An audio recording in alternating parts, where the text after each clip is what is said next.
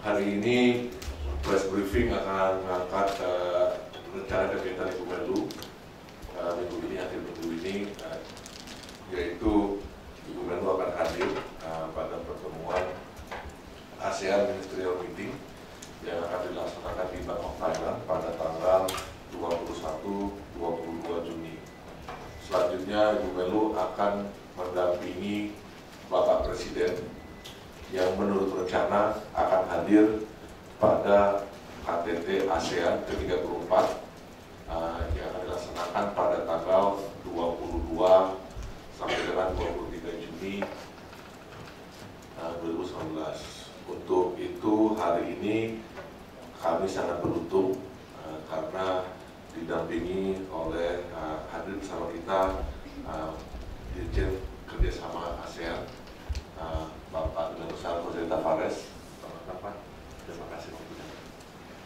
Uh, jadi kami sedikit lebih tenang hari ini karena dan semuanya akan dijawab oleh Pak Jose. Jadi teman-teman silakan memanfaatkan uh, waktunya. Intinya mungkin yang sebelum saya kami bersedia uh, persilakan Pak Jose beberapa poin saja bahwa KDT ASEAN tahun ini uh, temanya adalah Advancing Partnership uh, for Sustainability. Uh, tujuannya adalah meningkatkan sinergi antara visi masyarakat ASEAN 2025 dan agenda pembangunan global uh, di bawah terkait dengan Sustainable Development 2030. Uh, kami mohon ketersediaan Pak Dirjen untuk menyampaikan isu-isu apa saja yang akan menjadi perhatian dalam KTT ASEAN dan juga yang akan menjadi uh, fokus Indonesia uh, dalam pertemuan tersebut. Uh, silakan Pak Dirjen. Masih dalam suasana lebaran, kami juga mengucapkan minal aidin wal faizin. Mohon maaf lahir batin. Uh, pada KTT uh, ke-34 ASEAN uh, yang akan diselenggarakan pada tanggal 23 22-23 Juni uh, di Thailand mendatang. Ada serangkaian pertemuan antara lain ada pertemuan ASEAN Leaders Interface dengan representatif dari ASEAN Inter Interparliamentary Assembly, ASEAN Leaders Interface dengan representatif dari uh, pemuda, ASEAN Leaders Interface dengan representatif dari uh, Business Advisory Council dan juga ada sesi pleno dan uh, retreat yang akan dilaksanakan. Uh, kemudian ada juga uh, KTT Brunei, Indonesia, Malaysia, Filipina, East Asia Growth Area dan ada KTT Indonesia, Malaysia, uh, Thailand Growth Triangle. Uh, ada uh, agenda uh, yang sering kali disebut indicative list of topics. Itu sangat uh, umum ya, tergantung para leaders mau mengangkat topik apa pada pertemuan pleno maupun retreat. Ya yaitu di pleno uh, ASEAN Community Building yang tadi sudah disampaikan Pak Tata Advancing Partnership for Sustainability. Dan kemudian di retreat ada uh, exchange of views on regional dan international issues uh, termasuk uh, external relations. Dan ada uh, hal outcome documents yang akan dihasilkan berjumlah cukup banyak ada 16 tapi ada empat yang utama antara lain ASEAN Leaders Vision Statement on Partnership for Sustainability uh, kemudian uh, ASEAN Indo-Pacific Outlook uh, kemudian Bangkok Declaration on Combating Marine Debris in ASEAN Region dan yang keempat adalah ASEAN Leaders Statement on the ASEAN Cultural uh, Year. Uh, tentu saja leaders akan uh, uh, mengangkat secara bebas, uh, uh, akan memilih terserah uh, topik apa yang akan diangkat. Tentu saja isu-isu yang uh, bersifat uh, krusial strategik di, di kawasan uh, saat ini. Saya kira hanya itu aja Pak. Ah, ini saya akan hanya isu ini. Silakan kalau ada teman-teman yang ingin mendalami terkait dengan ASEAN atau ada beberapa isu lainnya yang ingin tanyakan. Selamat siang Pak, saya Bobi dari Nike Pak. Pertanyaannya terkait uh, pembahasan di ASEAN nanti. ASEAN Indo-Pacific Outlook ini boleh uh, minta dielaborasi Pak, nanti akan seperti apa isinya dan uh, perkembangan aset juga kalau misalnya Bapak bisa gambar garis besar perkembangannya seperti apa dan uh, masalah uh, perkembangan signifikan begitu Pak dalam ASEAN selanjutnya nanti Pak. Terima kasih. Mengenai uh, konsep uh, ASEAN Indo-Pacific Outlook, uh, konsep tersebut sebenarnya uh, adalah tindak lanjut dari uh, pidato Bapak Presiden di beberapa KTT dan kemudian ASEAN uh, merancang satu konsep yang sekarang sedang uh, dinegosiasikan. Uh, ASEAN uh, Indo-Pacific Outlook namanya. Dan uh, konsep ini pada dasarnya adalah uh, untuk menjaga agar perdamaian stabilitas dan uh, uh, prosperity di kawasan tetap uh, berlangsung dengan baik. Uh, melihat kepada dinamika geopolitik dan geostrategi yang saat ini uh, berubah secara cepat. Uh, ini adalah uh, menghasilkan tujuannya adalah untuk menghasilkan satu naratif, satu perspektif ASEAN sendiri uh, agar ASEAN tidak perlu memilih di antara geostrategi dalam kaitan dengan Indo-Pasifik yang ada. Ya, kita semua tahu ada berbagai uh, konsep uh, yang berkembang disampaikan oleh berbagai negara jadi uh, ASEAN akan memiliki satu uh, naratif tersendiri, tersendiri. Uh, dan itu adalah tujuannya uh, adalah untuk address sebenarnya un, untuk address strategic uh, rivalry. Kalau bisa kita uh, provide uh, solution be part of the solution uh, dari uh, uh, apa contestation yang ada dan demikian kita uh, bisa uh, upayakan adanya mutually beneficial uh, relations, win-win uh, cooperation uh, instead of uh, rivalry. Itu yang uh, mengenai uh, Indo-Pasifik. Uh, tentu saja uh, ini konsep ini sedang dinegosiasikan dan uh, akan terus uh, bergulir uh, sampai uh, pada KTT ini, KTT bulan Juli ini dan kita harapkan dapat di uh, endorse para menteri luar negeri dan diadop oleh uh, kepala negara dan kemudian bisa ditindaklanjuti uh, dalam uh, kerjasama uh, uh, yang lebih konkret ya, dalam bidang uh, uh, connectivity, sustainable development uh, uh, goals, uh, SDG sama kerjasama ekonomi yang lebih luas. Nah, ini. Jadi sebenarnya uh, uh, kerjasama regional ini adalah kelanjutan dari uh, upaya penguatan uh, yang ada di mana visi kita adalah uh, untuk menjaga kawasan ini agar apa yang telah dicapai selama 50 tahun itu dapat berlangsung uh, tetap dengan dengan baik. Nah, kemudian uh, mengenai uh, uh, regional comprehensive uh, economic partnership pada dasarnya terus uh, berlangsung uh, negosiasi uh, di antara 16 negara yaitu menyatukan untuk menyatukan uh, FTAs yang ada di kawasan. Uh, saya kira ini sangat timely juga ya. Uh, Regional Comprehensive Economic Partnership ini yang diharapkan dapat diselesaikan tahun ini. Uh, mengingat ada dinamika di luar yang uh, adanya uncertainties, kemudian ada protectionism uh, tendencies, dan dengan adanya Regional uh, Comprehensive Economic Partnership ini, ya diharapkan akan membuka peluang yang lebih besar dan saja saat ini sedang dinegosiasikan sisa dari chapters yang ada. Sebagaimana diketahui bahwa tujuh chapter sudah uh, selesai. Uh, sisa dari chapter itu sedang uh, dibahas. Uh, dan diharapkan uh, diintensifkan uh, menuju ke akhir tahun uh, 2019 ini. Uh, perlu diketahui bahwa apabila di, uh, dihasilkan Regional Comprehensive Economic Partnership ini maka sebenarnya mencakup pasar yang luar biasa yang terbesar 3,4 uh, miliar manusia ya, miliar pasar.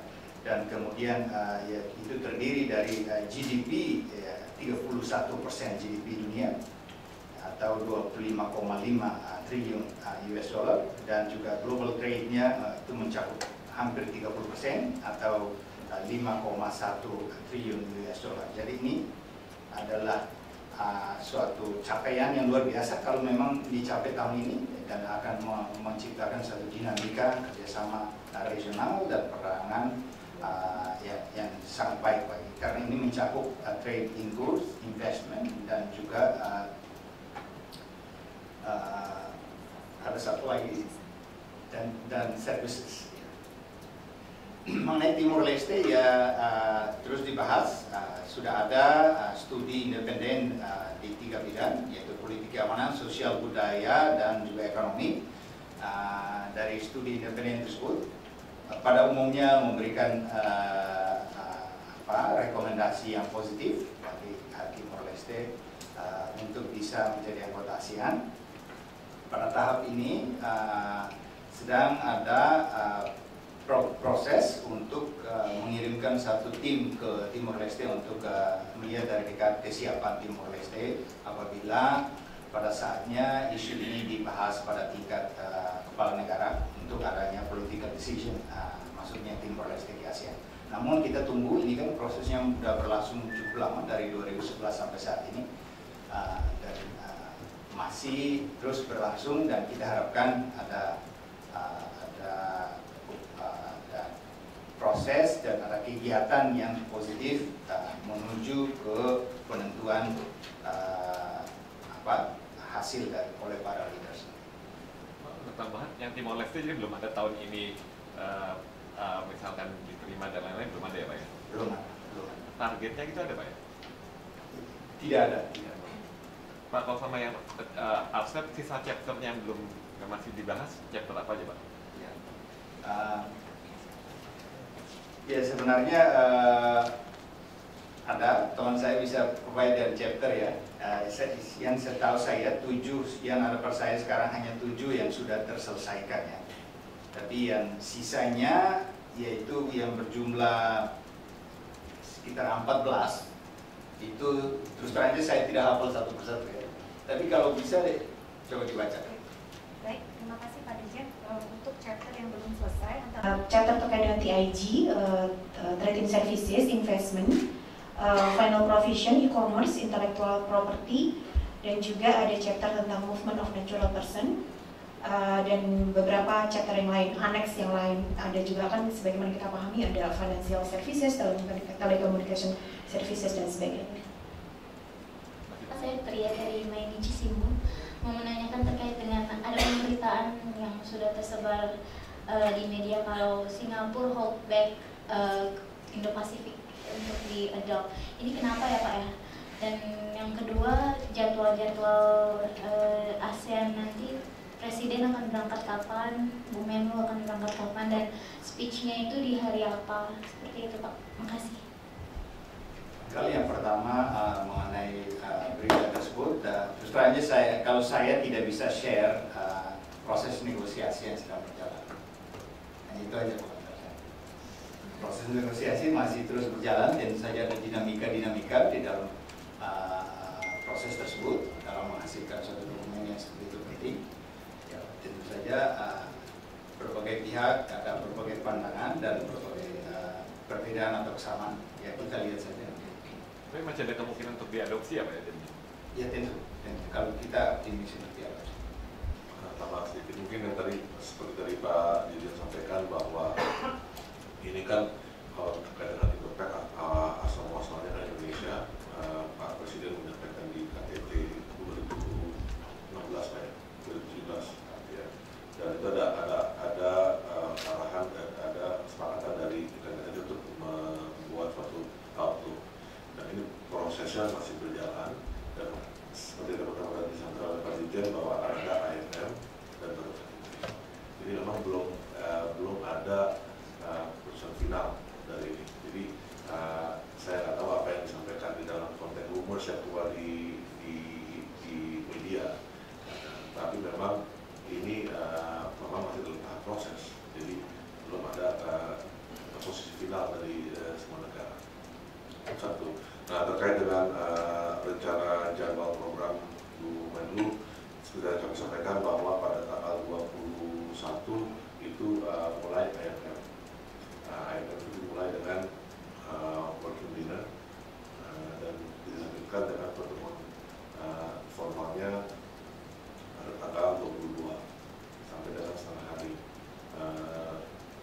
yeah.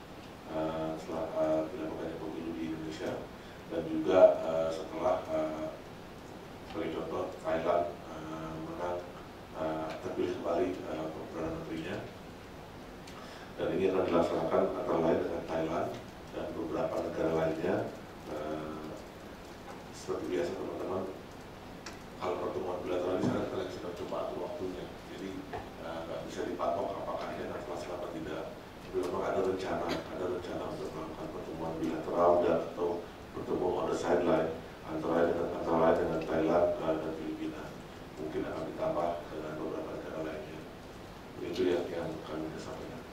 Uh, terima kasih. Saya Gusti dari Reuters.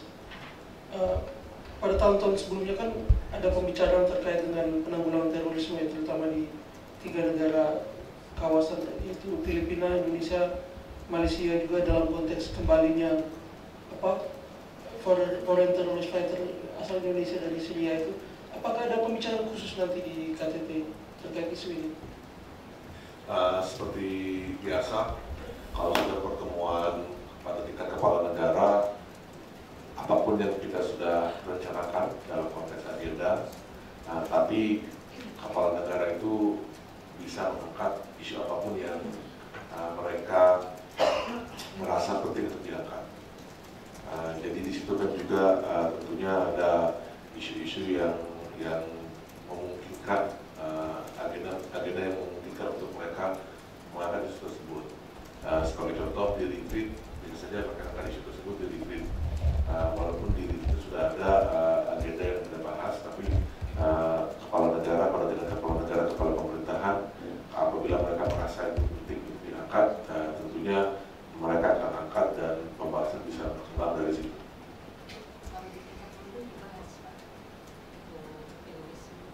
Uh, kalau untuk pada tingkat menteri, ini kan biasanya kalau pertemuannya back to back dengan KTT, ini uh, biasanya dilakukan untuk mempersiapkan uh, pertemuan tingkat itu sendiri.